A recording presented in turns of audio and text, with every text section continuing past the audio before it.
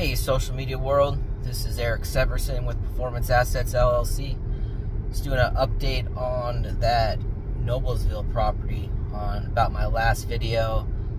Helping out a seller that went under contract twice, had to sell fast.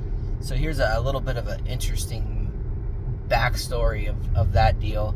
So this was a property that was actually on market, obviously, because it went uh, under contract twice. So being that I don't work with agents directly, um, I just blindly sent them an LOI, I sent them a letter of intent. Here's kind of the crazy part is the broker happens to be a commercial broker and he was just doing a favor for somebody uh, listing this house. Well, what's funny about that is most brokers, they don't even know what a LOI is.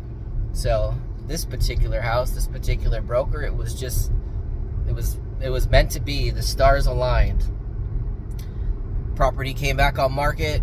I, for whatever reason, I went online, checked it out, submitted an LOI. I think the next day, I don't even know. And lo and behold, um, you know, it being a cash offer, I had to get a little bit of a discount on it.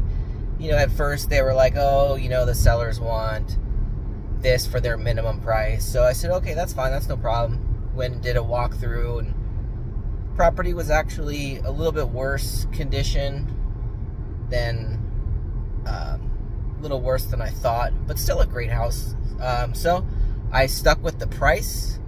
Looks like we got bad lighting today. Sorry about that. And I'm not gonna edit the video. Just keeping it real. So stuck with my price from the LOI, and sure enough, it was accepted. So the next few videos are gonna be of what I do next with the house. I, I kind of want to rent it, kind of want to sell it, really need to sell it, really need to hold it. So it's a conundrum. I like to, uh, I joke with my my kids that I'm a hoarder. I hoard houses, but it's a great, great house, great area, Noblesville, Indiana. Uh, it's right off the White River, so there's some recreation. It's across the street from Noblesville Middle School. There's the big Riverview Hospital right there. It's too good to let go, honestly. So I think this video just convinced myself to hold it.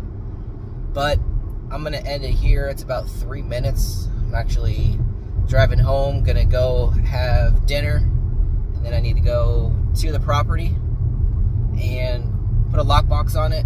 I have a guy who's gonna go in and start ripping up floors. The tiles, the tiles in the kitchen were all broken and cracked up. They uh, they had pets, so the carpets are honestly just disgusting. So those need to come up. Even if I sell it, I'll I'll do those, but there's a 99.99% chance I'm going to hold it as a rental. But we shall see. I will update everybody. And once again, this is Eric Severson with Performance Assets LLC. Sorry about the crappy light.